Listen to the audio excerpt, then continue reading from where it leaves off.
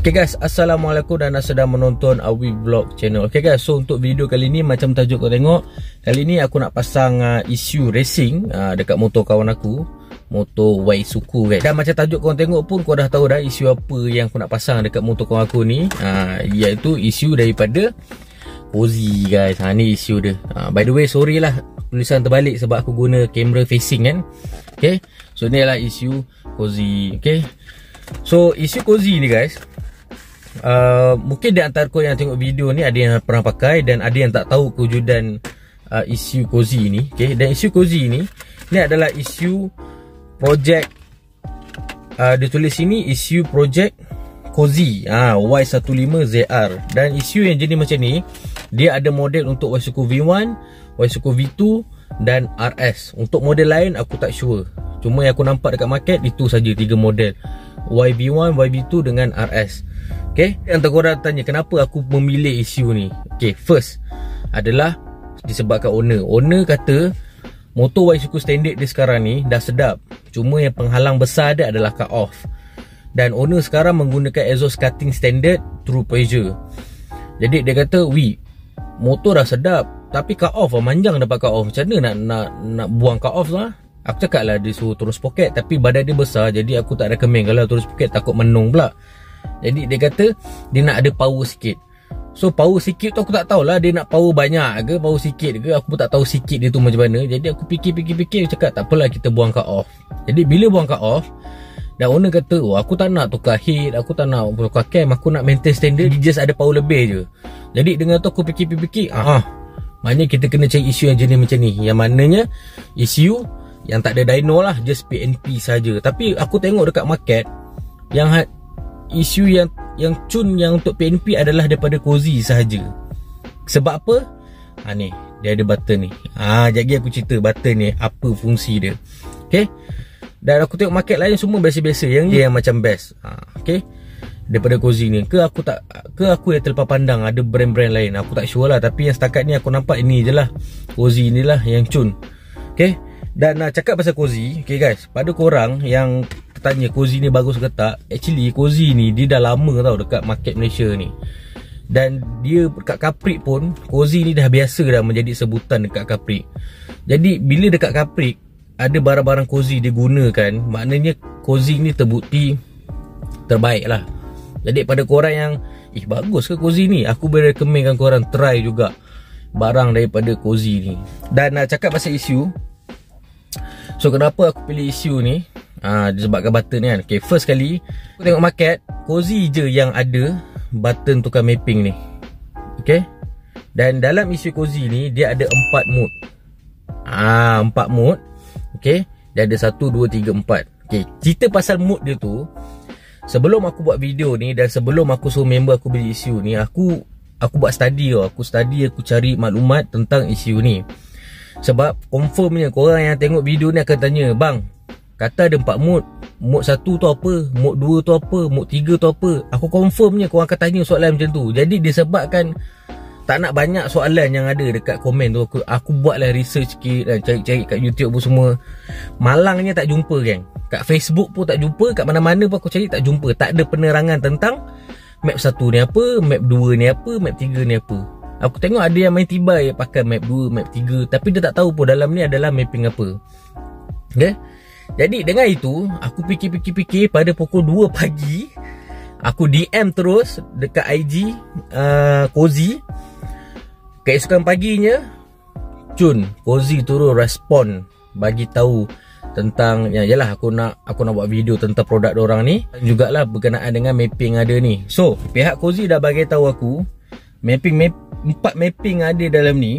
Okey untuk mapping yang pertama adalah mapping standard kilang maknanya cut off pun masih lagi sama dan firing apa semua pun masih lagi sama. Okey dan untuk mapping yang kedua adalah untuk exhaust cutting standard 28mm okey dan mapping yang ketiga adalah exhaust cutting standard 32mm Dan mapping ketiga adalah exhaust cutting standard total body racing. Mapping 4 ni mungkin kasih standard 32 ke atas lah Ada sebarang penukaran total body racing Cuma yang lain standard Okay Dan apa yang aku bagi tahu ni ni bukan palatau tau. Ini daripada pihak Kozi sendiri tau. Yang bagi tahu aku. Ha, jadi mungkin dia ada tu orang terkejut kan. Uish, rupanya macam ni punya mapping yang ada, spek mapping yang ada dalam isu ni.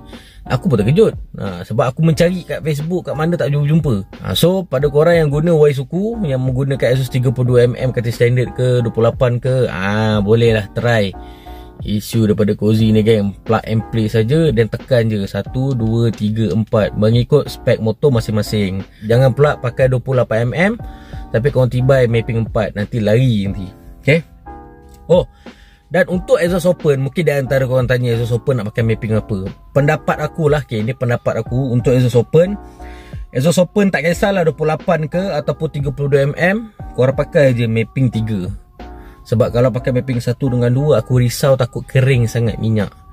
Jadi bila kering sangat Korang lock throttle terlalu lama Mengakibatkan Benda buruk yang berlaku lah.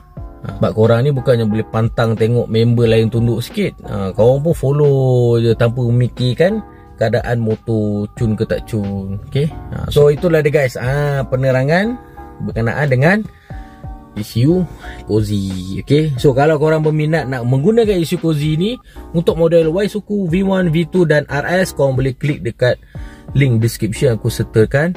Dan kalau korang nak tengok barang-barang apa lagi Cozy ada keluarkan Aku akan letak juga link IG dorang Cozy Malaysia dan Cozy Performance dekat bawah. So korang boleh usah IG dorang boleh tengok barang-barang apa yang dorang dah keluarkan. Okay?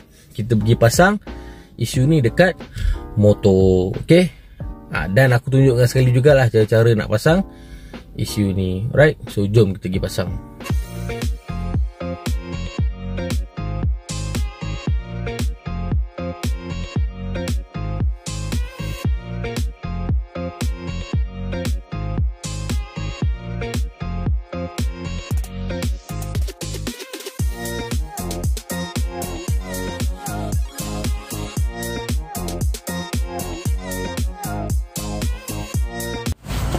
Okay guys, aku nak tunjuk cara nak buka dada dia Dada Wazuku ni. First kali yang belah dada cover set ni Kau buka dulu Belakang ni Skru bakul eh Kiri kanan. Lepas tu dekat bawah dia ni Bawah dia ni Yang dekat sini ada satu clip. Nah clip tu kau congkel dia. Nanti dia terbuka lah Sebab dia bukan lane key bukan skru eh. So bila dah buka skru tu Korang tarik ke bawah Okay ha, Tapi untuk motor yang first time buka Memang agak ketat dah. Tapi kalau motor yang dah biasa buka Dia senang kan nak buka.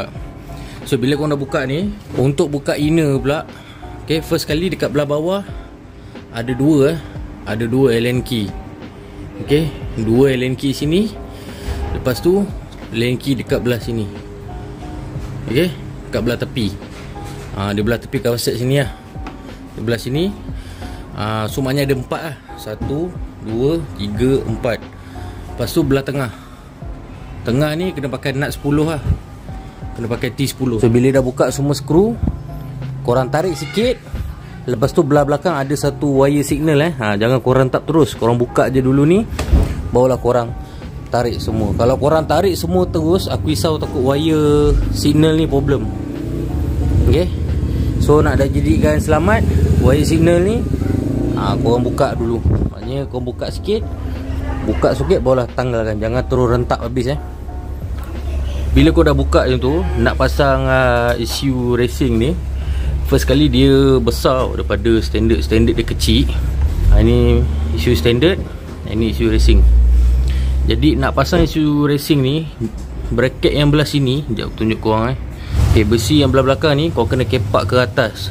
Sebab Kalau kau tak kepak dia tak boleh masuk dekat sini. Dia punya safety lock ni. ECU ni yang kat ring ni.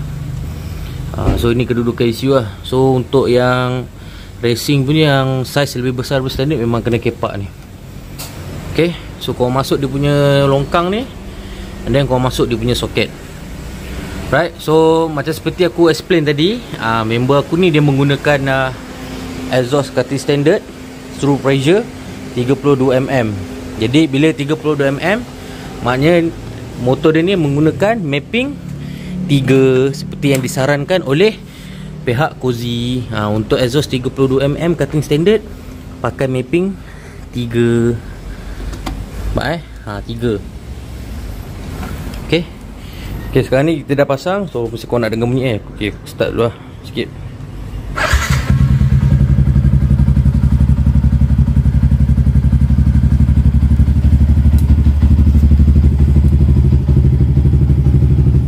Okay timing ngam Timing tak ada lari tak ada apa Cuncun je.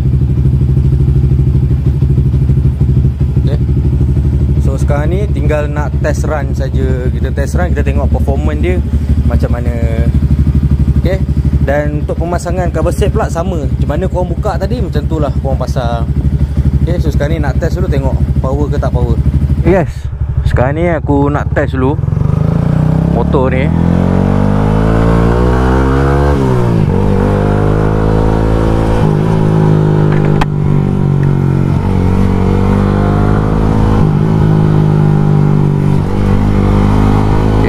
kemungkinan aku test ni tak more pada top speed lah. Aku nak tengok pada respon lah macam mana.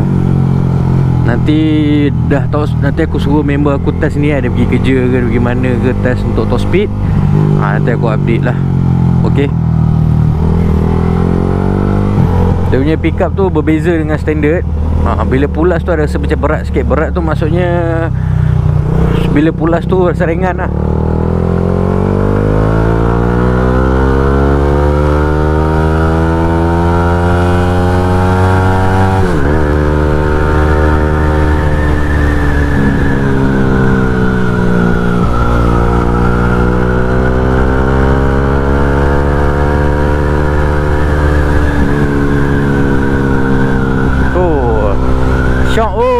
Dia boleh tarik panjang.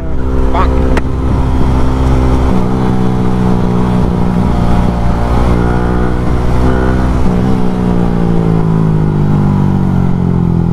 Tapi respon sedap guys. Aku sangat recommend lah. Dia punya respon best sebab Kita menggunakan mapping yang betul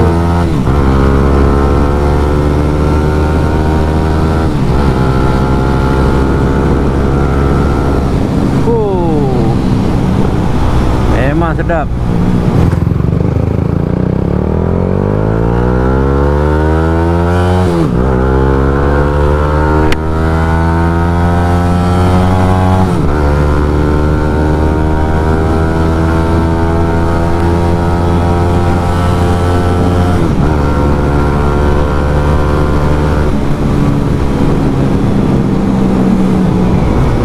Dia main kanan je eh Tarik betul. Ya macam kau tengok tadi lah Kau-kau boleh tarik panjang. Kalau joki ringan Mungkin lebih boleh go lagi lah. Ha, Sebab aku ni sebab berat.